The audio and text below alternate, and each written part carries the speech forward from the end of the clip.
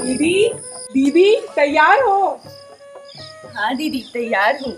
आज आंगनबाड़ी में कुछ नया होने वाला है पता है ना? हाँ चलिए। चलिए। सुनिए आज आंगनबाड़ी में नया कार्यक्रम है। मैं देर से आऊँगी।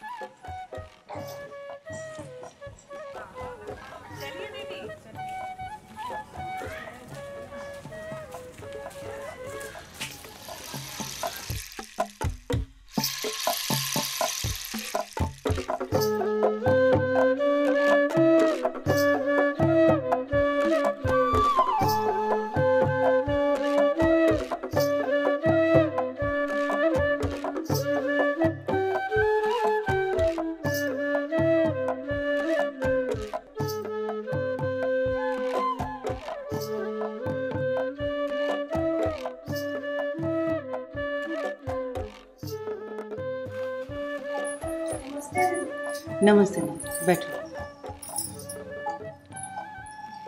सब दीदी आ गई ना? हाँ दीदी सब लोग आ गए हैं। आप बताइए ना आज क्या नया बताने वाली थी? हम लोग जानने के लिए बहुत उत्सुक हैं।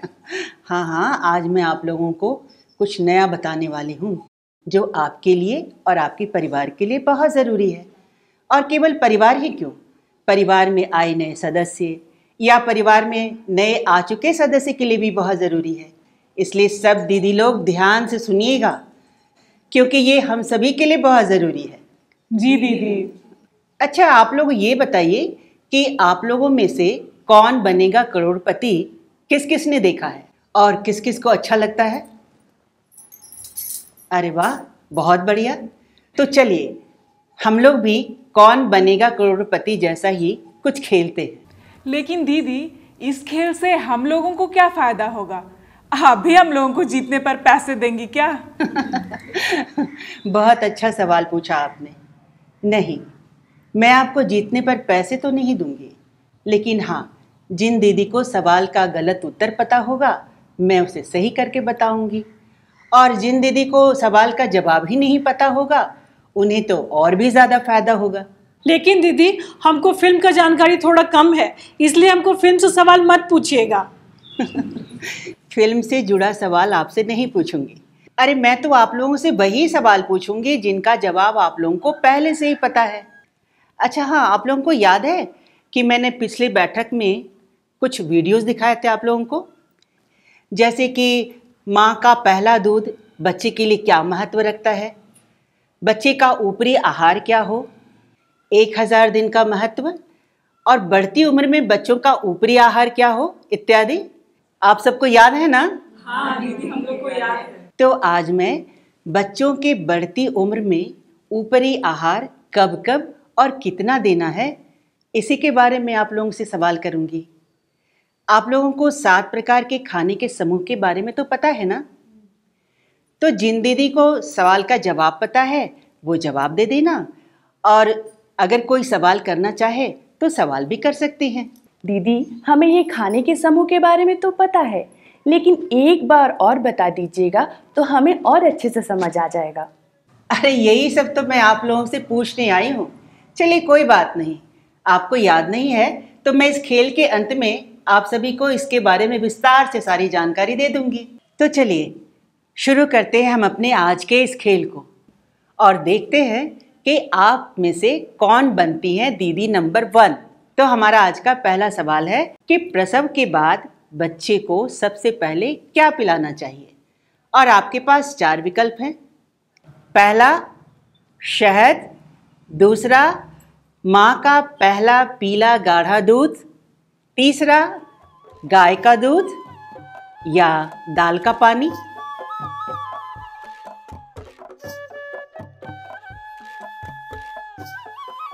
अच्छा दीदी, आप बताइए दीदी, प्रसव के बाद बच्चे को पहला पीला गाढ़ा दूध पिलाना चाहिए। सही जवाब। इन दीदी के लिए जोरदार तालियाँ हो जाए। सही बोला आपने दीदी। प्रसव के बाद बच्चे के लिए माँ का पहला पीला गाढ़ा दूध अमृत के समान होता है। और अब हमारा दूसरा सवाल। दूसरा सवाल ये है कि बच्चे के छः महीने होने तक उसे क्या पिलाना चाहिए? और आपके पास चार विकल्प हैं। दाल का पानी सिर्फ़ माँ का दूध माँ के दूध के साथ पानी या सब कुछ। आप बताइए। दीदी हमें अपने बच्चे को छः महीना पूरा होने तक माँ का दूध पिलाना चाहिए। सही जवाब। जोरदार तालियाँ हो जाए इनके लिए बिल्कुल सही। बच्चे के छः महीना पूरा होने तक उसे सिर्फ़ और सिर्फ़ माँ का दूध ही पिलाना चाहिए, पानी भी नहीं। कुछ दीदी लोग जानकारी के अभाव में पानी भी पिला देती हैं, जो कि बिल्कुल गलत है। और अब रहा हमारा तीसरा सवाल। हमारा तीसरा सवाल है कि बच्चे को ऊपरी आहार कब से देना शुरू करना चाहिए और ऊपरी आहार देना क्यों ज़रूरी है? दीदी जब हमारा बच्चा पूरे छः महीने का हो जाए, तब उसे ऊपरी आहार देना शुरू कर देना चाहिए। ऊपरी आहार देने से बच्चे को ताकत मिलती है और वो तंदुरुस्त रहता है। लेकिन ऊपरी आहार देने के साथ साथ कम से कम दो साल तक बच्चे को स्तनपान कराना ज़रूरी होता है। सही कहा पूजा तुमने। बच्चे के छः महीना पूरा हो जाने के बाद उसके शरीर और दिमाग के विकास के लिए माँ के दूध के साथ साथ उसे ऊपरी आहार देने की भी बहुत ज़रूरत होती है। यहाँ वीडियो रोककर चर्चा करें। बच्चे के शरीर और दिमाग के संपूर्ण विकास के लिए उसे छह महीना पूरा होते ही माँ के दूध के साथ साथ ऊपरी आहार भी देना ज़रूरी है। अब आप ये बताइए कि बच्चे के छः महीना होने के बाद से आठ महीना तक उसे क्या क्या खिलाना चाहिए और कितनी मात्रा में देना चाहिए? दीदी छः महीने से लेकर आठ महीने पूरे होने तक हम अपने बच्चे को पाव भर की कटोरी में, आधी आधी कटोरी खाना दिन में कम से कम दो से तीन बार खिलाते हैं। खाने में हम बच्चे को खिचड़ी, दलिया, हलवा, दाल, उबले हुए अंडे और हरी सब्ज़ियाँ और साथ ही साथ फल हम सब कुछ दे सकते हैं। मतलब कि हम सब घर में जो खाते हैं सब कुछ। बस मसालेदार नहीं होना चाहिए। है ना दीदी? दीदी हमें ये भी ध्यान देना होता है कि खिचड़ी या दलिया बिल्कुल ही पानी की तरह पतला ना हो। इसे थोड़ा गाढ़ा होना चाहिए जो चम्मच या थाली में ना बहे।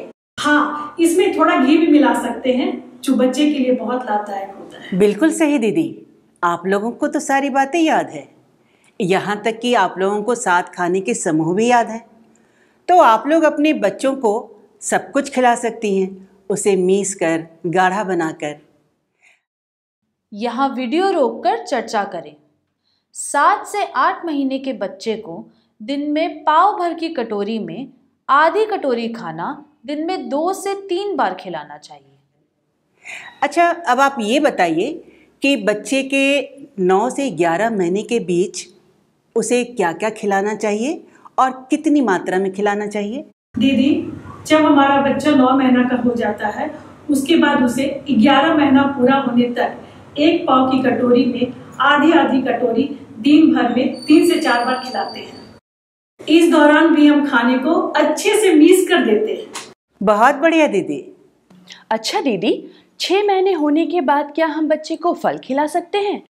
हाँ दीदी बच्चे के छः महीना पूरा हो जाने के बाद हम उसे नाश्ते की तरह दिन भर में दो बार फल मिस कर दे सकते हैं।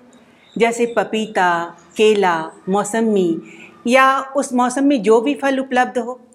और फल ही क्यों? हम उसे दूध से बनी हुई चीज़ें भी खिला सकते हैं, जैसे दही, पनीर और इसके अलावा मांस, मछली, अंडा भी उसे खिला सकते हैं, अच्छी तरह से मीस कर। हाँ दीदी हम लोग अपने बच्चे को बिल्कुल ऐसे ही खाना खिलाते हैं। और हम लोग बाहर की खाने वाली चीज़ें जैसे बिस्किट चिप्स बिल्कुल ही नहीं देते इन दीदी के लिए जोरदार तालियाँ हो जाए। सही बोला आपने दीदी। यहाँ वीडियो रोककर चर्चा करें। 9 से 11 महीने के बच्चे को दिन में पाव भर की कटोरी में आधी आधी कटोरी खाना तीन से चार बार खिलाना चाहिए। अब हमारा अगला सवाल। हमारा अगला सवाल ये है कि बच्चे के 12 महीना से लेकर 23 महीना पूरा हो जाने तक कितना खाना खिलाना चाहिए? दीदी, इस दौरान हम अपने बच्चे को उसी एक पाव की कटोरी में भर भर कटोरी खाना दिन में कम से कम तीन से चार बार खिलाते हैं। साथ ही साथ हम इसे तीन बार मौसमी फल भी देते हैं। और दीदी, हम अपने बच्चे को घर में बनने वाला खाना भी खिलाते हैं, जिसमें कम तेल मसाला हो। और साथ ही साथ इस बात का भी ध्यान रखते हैं कि छः महीने के बाद से ही हमारे बच्चे के खाने में सात खाने का समूह ज़रूर शामिल हो। यहाँ वीडियो रोककर चर्चा करें। 12 से 23 महीने तक के बच्चे को पाव भर की कटोरी में भर भर कटोरी खाना तीन से चार बार खिलाना चाहिए। बच्चे के छह महीना पूरा होते ही नाश्ते की तरह दिन में एक दो बार मौसमी फल भी ज़रूर खिलाएँ।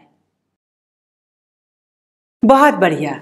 और ये सात खाने के समूह क्या क्या हैं?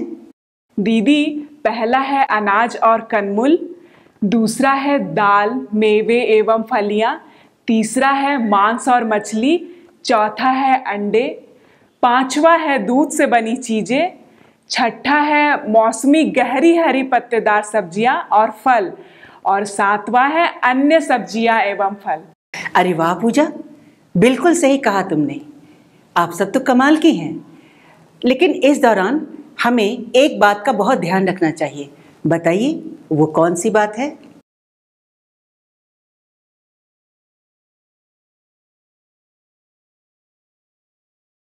चलिए, कोई बात नहीं।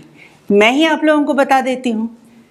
बच्चे के छः महीना होने के बाद मतलब कि जब हम उसे खाना खिला रहे होते हैं और जिस कटोरी में खाना खिला रहे हैं, वो कटोरी अच्छे से धुले हुए होने चाहिए। और इस बात का भी हमें बहुत ध्यान रखना चाहिए कि खाना बनाने से पहले और बच्चे को खिलाने से पहले अपने दोनों हाथ साबुन से अच्छी तरह धो लें। एक और बात दीदी, यदि किसी कारण से माँ बच्चे को दूध पिलाने में असमर्थ हो तो ऐसे बच्चे को पौष्टिक भोजन ज़्यादा कराना चाहिए। और बीमारी के दौरान और बाद में बच्चे को ज़्यादा भोजन कराना चाहिए। इसके अलावा यदि किसी बच्चे को दस्त हो जाए तो उस बच्चे की पोषक आहार की पूर्ति के लिए नियमित समय पर पोषक आहार देते रहना चाहिए। दस्त के समय बच्चे को खाना खिलाते रहना चाहिए। बहुत से लोग दस्त के दौरान बच्चे को खाना देना बंद कर देते हैं, जो कि बिल्कुल गलत है। बच्चा दस्त से कमज़ोर हो जाता है, और जब तक आप उसे खाना नहीं देंगे तो बच्चा ठीक कैसे होगा? बिल्कुल सही कहा दीदी आपने। तो दीदी आप हमें ये बताइए कि आप लोगों में से किन किन ने फ़िल्म दंगल देखी है? हमने देखी अच्छा तो कौन कौन चाहता है कि उनके बच्चे दंगल की बेटियों की तरह तंदुरुस्त और स्वस्थ हों? अरे वाह! तो इसके लिए आप लोगों को किन किन बातों का ध्यान रखना है? बच्चे के संपूर्ण विकास के लिए छह महीना पूरा होते ही माँ के दूध के साथ साथ ऊपरी आहार भी देना शुरू कर देना चाहिए। और दीदी जैसे जैसे बच्चा हमारा बढ़ता जाता है हम उसकी खुराक भी वैसे ही बढ़ाते जाते हैं। खाना हमेशा साफ़ पानी में बनाना चाहिए। खाना बनाने से पहले और बच्चे को खिलाने से पहले हाथ हमेशा साबुन से धोना चाहिए। बहुत बढ़िया दीदी। और हाँ खाना हमेशा आयोडीन नमक में ही बनाना चाहिए। और इस बात का भी ख्याल रखिएगा कि जब भी आप बच्चे को खाना खिलाएँ तो कुछ नया बनाकर खिलाएँ ताकि आप उसकी पसंद और नापसंद भी जान सकें। जी दीदी दीदी आज का ये खेल खेलकर बहुत ही मज़ा आया और खेल खेल में बहुत सारी जानकारी भी मिली। हाँ दीदी आज का खेल ये वाकई मज़ेदार था। आपने सही कहा था कि जीतने वाले को सही जानकारी मिलेगी जो हमारे परिवार को काम आएगी। लेकिन दीदी आपके हिसाब से आज का खेल कौन जीता? और किसने सबसे ज़्यादा जवाब दिया? मुझे भी बहुत अच्छा लग रहा है कि आप लोगों को इस खेल में इतना मज़ा आया। और रही बात कि आज इस खेल में कौन जीता तो मेरे लिए तो आप सभी दीदी ही जीती हैं। लेकिन जहाँ तक नंबर वन बनने की बात है तो आज हमारी पूजा दीदी ही नंबर वन बनी है तो इनके लिए एक जोरदार ताली हो जाए। अच्छा दीदी अब मैं उम्मीद करती हूँ कि आपको ये जानकारी काम आएगी। अगले महीने की इसी बैठक में हम सब फिर मिलेंगे एक नए खेल के साथ। आप सब आइएगा ना? जी दीदी अच्छा नमस्ते नमस्ते। ध्यान देने योग्य बातें। बच्चे के छह महीना पूरा होते ही उसे माँ के दूध के साथ साथ ऊपरी आहार देना शुरू कर दें इससे बच्चे के शरीर और दिमाग के संपूर्ण विकास के लिए ज़रूरी पोषक तत्व मिलते हैं। बच्चे के आहार में सात खाने के समूह में से कम से कम चार खाने का समूह ज़रूर शामिल करें। सात से आठ महीने के बच्चे को माँ के दूध के साथ साथ आधी कटोरी खाना तीन से चार बार। नौ से ग्यारह महीने के बच्चे को माँ के दूध के साथ साथ आधी कटोरी खाना दिन में तीन से चार बार। बारह से तेईस महीने तक के बच्चे को माँ के दूध के साथ साथ तीन से चार बार भर भर कटोरी खाना तीन से चार बार। खाने में आयोडीन नमक का ही प्रयोग करें। खाना बनाने एवं खाने से पहले हाथों को साबुन से ज़रूर धोएँ।